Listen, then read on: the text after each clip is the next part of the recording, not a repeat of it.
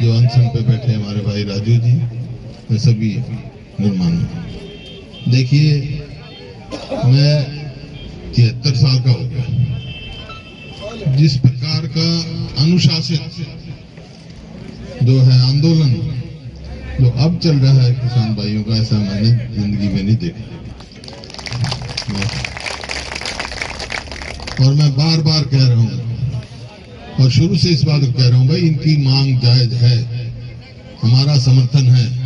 मैं राजनीतिक लाभ के लिए नहीं, दिल, दिमाग, तन, मन, सब आपके साथ है आपकी उसके साथ राजनीति एक अलग चीज़ है, लेकिन ये अंदाता आज दुखी है। अंदाता देखो, वो तो अकेला बोलता है, खाता तो सारा हिंदुस्तान है। मैं कई बार कहा इनकी बात जायज़ है और आपकी मांगों का मेरा पुरजोर समर्थन है। इस बात और सदैव रहेगा यही मैं आपसे कहने आया हूँ। मेरे बुज़ुर्ग भी बैठे हैं मेरे भाई भी बैठे हैं। आ, बस आपसे निवेदन यही है कि कई किस्म की ताकतों अपनी शांति बनाए रखी और जिस प्रकार से शांति प्रिय ढंग से चल रहे आंदोलन मैंने देखा नहीं है भाई। आपको सबको मेरी बहुत बहुत राम राम धन्यवाद।